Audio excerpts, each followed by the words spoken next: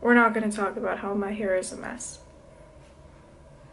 Sad to say, it's our last morning here. We are heading out to a specific place that I'm worried about ruining the pronunciation of, so I'm just going to write it on the screen.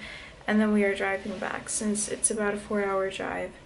But we had a really good time yesterday, and just in general, Regensburg is a very pretty city, and I definitely hope to come back at some point. It's been a really fun trip, and I'm excited for our last stop.